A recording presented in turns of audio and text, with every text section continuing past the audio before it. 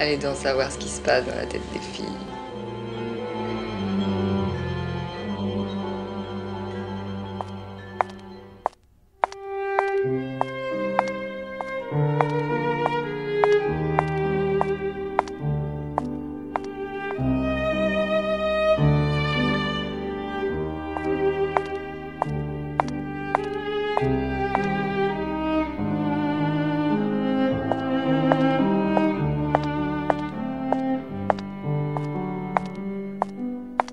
J'ai une idée.